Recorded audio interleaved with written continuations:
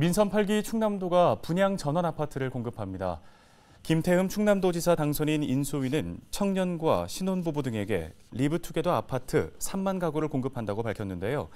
입주자들은 보증금과 월 임대료를 내고 5년간 거주한 뒤 입주자 모집 때 공제한 금액으로 아파트를 분양받을 수 있습니다. 모든 가구는 장기 입주를 고려해 60에서 80제곱미터 중형 주택으로 건설됩니다. 아파트 단지는 입지 여건이 우수한 곳에 500가구 이상은 규모로 짓되 수요자 선호도를 고려해 브랜드 아파트 건설 사업자 참여 방안도 마련하기로 했습니다. 인수위는 민선 7기에서 추진됐던 신혼부부형 장기 임대주택인 꿈비채는 종전과 같이 유지해 도민들이 장기 임대나 분양 전환을 고를 수 있도록 선택의 폭을 넓혔다고 설명했습니다.